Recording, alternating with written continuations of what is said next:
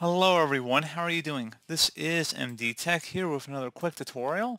In today's tutorial, I'm going to show you guys how to resolve an interrupted file error on your Windows computer. So if there's an interrupted action or download perhaps, in today's tutorial I'm going to show you guys how to hopefully resolve it without too much of a hassle. And we're going to go ahead and jump straight into it. First thing I recommend doing would be to just close out of any open programs or windows you have on your computer and then attempt to resume or restart the download. If that doesn't work, I would then attempt to restart your computer. Let's go ahead and restart your device.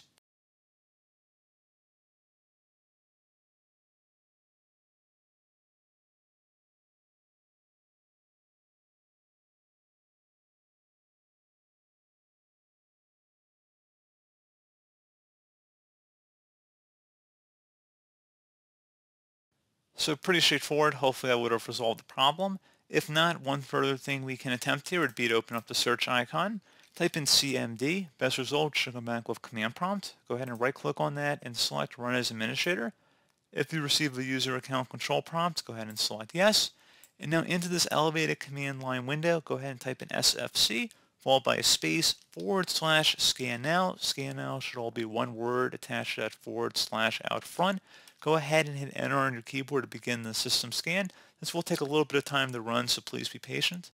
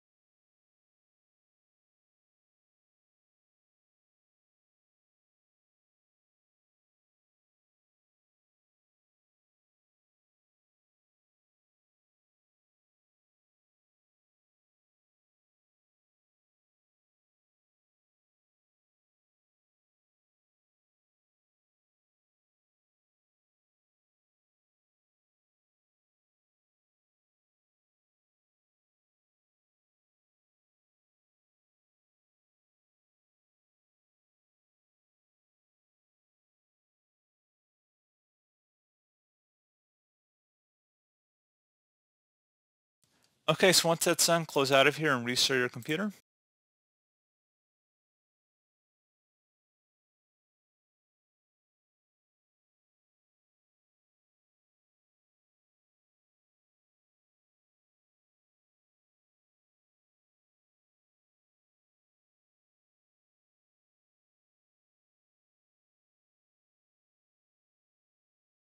So there you go guys, hopefully that was a pretty straightforward process, and as always, thank you for watching. Do hope I was able to help you out, and I do look forward to catching you all in the next tutorial.